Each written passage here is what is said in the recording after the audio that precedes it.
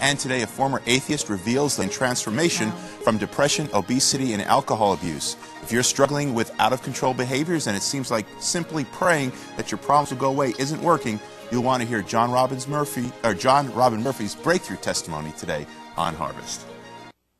A self-described table-pounding atheist well into his late 20s, John Robin Murphy angrily rejected anything Christian, even though his life was spinning out of control.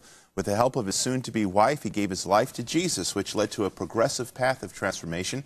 And John now devotes his time to helping others gain freedom. John, welcome to the Harvest program today. Thank you. uh, tell us a little bit about, about your story, because uh, even after you became a Christian, yeah. you still were struggling with some of the old habits and old old ways of life. Right. Well, I think that it started off really with that sort of fresh, I'm a new Christian thing, and very excited about the promise of it. And it really uh, um, gave me a point of realizing there was a purpose to this, and that I had a pretty miserable atheistic life and was glad to leave it behind. so I was very wrapped up into all the promises and all the excitement. About year five, though, I'm going, well, I'm not feeling so good, and what is this about? And why, do, why am I still struggling with some of the things that I was struggling with before? You know, mm-hmm. what was, why is that baggage which I thought was left behind?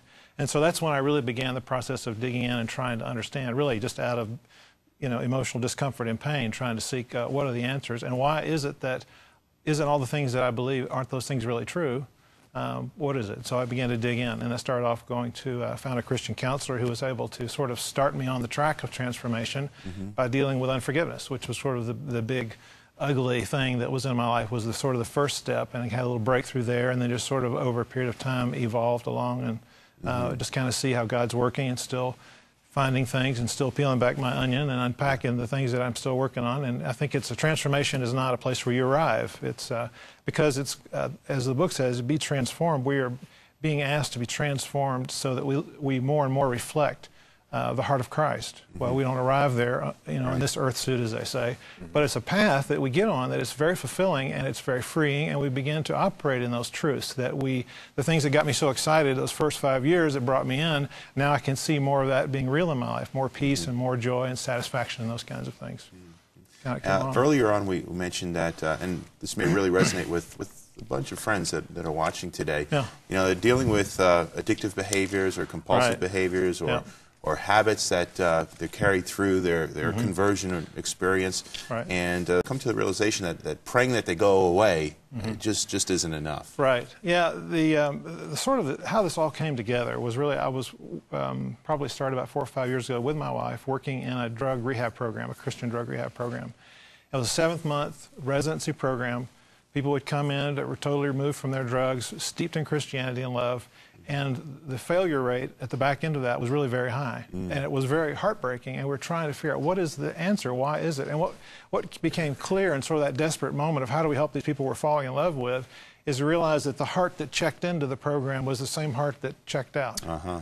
And so the things that were driving, the torments and things that were driving them because their heart was out of line with what God wants for their heart, uh, were still in place. And so you can wrap a lot of veneer and a lot of behavior management around things, mm. and some of it in the Christian, uh, in sort of a, a, Christian perspective as well.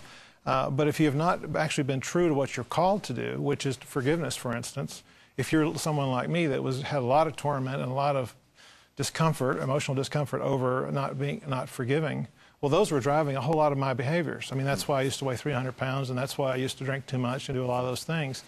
But as I see that, as, uh, as I have been drawn into and have those little transforming moments where I have aligned my heart, which is in this case forgiveness, or I've done whatever it is that uh, uh, confessing um, self righteousness and trying to restore that place of my heart, as I've broken down each of those places, those torments are removed and they don't drive that behavior, behavior. anymore. Mm. But you can't, uh, you know, and it's true in the world as well. If you think about all the people that get involved with, um, uh, weight loss programs, mm-hmm. and uh, and I went through several because I had that period where I was trying to struggle with weight through secular means, and uh, at the end of it, the weight always came back yeah. because the thing that drove me to overeat was never dealt with. Mm-hmm. I even went off to fat camp when I was like 13, and those guys knew how to take it off of you. Yeah. I was getting there at the end of that period of time, but they didn't do one thing to help figure out and unravel. What, why you got why there in the first place. I went to yeah. that as the medicating solution to the things that were bugging me. Mm. And, and so many people in our society do fall into addictive behavior. What is right. it? Oftentimes, is there a few common denominators that drive them to that place? And You said in your Yeah. book that one of the things that brought you to the place of freedom is God simply speaking a word to you that you need to love Him more. How does that, That play out in daily one. life? Well, just so overall, I think that if we look at our target as the heart of Christ, and I believe that a lot of times we get caught in Christianity running laps, doing the things, you know, the appropriate things and doing the ministry work as defined by the church or whatever, and we kind of get into that routine. Um, but, the, the, but what is really all this about? The pursuing the promises is not the objective. The objective is to have the heart of Christ. And so I think that if you start looking back, well, what are those elements? Well, one is that we don't need, you know, we don't want to be rebelling against Him. If God says forgive, that's not, that doesn't only occur when the guy comes and asks for forgiveness. That's a transaction between us and the Lord.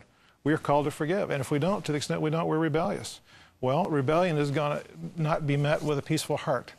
Uh, we fall in love with things. Um, Idolatry. idolatry. What I discovered, interesting, the one about loving God more, that was so interesting because uh, I'd come to a place where I felt like I was advancing along and kind of dealt with some things. And so, why am I still struggling with this weight thing? I still got a little, packing a little more than I should be.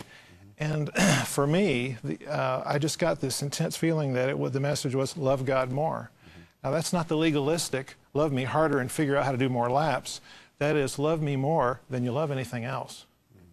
And I realized that was a breakthrough. The guy, and it was validated in the, um, in the drug abuse program because the guys there love to get high. And as we worked with them, we had to break that and, and switch that priority, or we'll move that one. But we need to go. We need to get to a place where we do love God more than anything. That's a characteristic of Christ. Humility, critically important to pursue humility and to, to repent of self-righteousness. I found I had a load of that in the ministry. In that in that particular ministry was when I figured that out, and I had to repent of that and got a little relief on that level. So.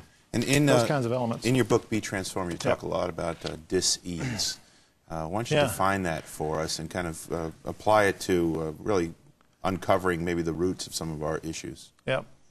Well, I think that uh, the scripture I probably reference would be the um, unmerciful servant, servant who was forgiven by the king but did not forgive the person who owed him the debt. And the Lord, and at the end, people you know don't want to focus a whole lot, but it says Jesus says, and the Lord will turn you over, as you know, as it happened to the person in the, as the, the servant in the parable. And I think that what happens is is that th- that's really a torment that is a God-centered dissatisfaction and discomfort, and and you're not. God does not want us to be at peace when we are uh, opposing Him. Uh, and the more we reflect the more that we don't reflect the heart of Christ, we'll say, the more disease you're going to feel. And the way to get to take away that disease is to align yourself with with Christ and align yourself with what God has for your heart. And, and in the case of unforgiveness, it generated a tremendous amount of disease. I don't. I think that the it was sort of a play on words. I don't want people to feel like that. I'm getting away or sort of confronting the whole disease Right, like alcoholism issue. as is a- it a a disease, or is it not? Well, what I have found um, is that people really are driven for a reason, Mm-hmm. and, and it's not a chemical thing, and it's, it has to do with uh, a lie they believed about themselves, which is another key element of how do you actually get there. So it's you- a more heart thing, emotional, so all- psychological, soul, yeah. uh, spirit well, thing. if you believe that you were worthless and that you were never going to make anything of yourself, how would you feel, and how would that impact your decisions you Right, make? Right. And so that's another one of the things we have to do is that Jesus said that Satan came to him and found nothing of him in Jesus. Mm-hmm. Well, he's the father of lies. Well, if we have a lie in us, we don't reflect the heart of Christ. Plus, it's an opportunity. It really represents a place where presence, uh, where Satan can torment us. Right. Disease comes from all those places. Right. So there are a lot of different elements there. and that disease, dis-ease drives behavior, which Right. brings us to a place of, of bondage. And Yep. uh, really, God's plan for us is transformation and to be conformed to the image of Christ. Uh, John's new book, Be Transformed, New Life Again, you can find it on our website, harvest-tv.com. You can also visit John's website at johnrobinmurphy.com Right. uh, to get more information. I want to thank you for, for joining us today, Oh, it's been John. great to be here. And we've been discussing how to overcome unwanted behaviors in our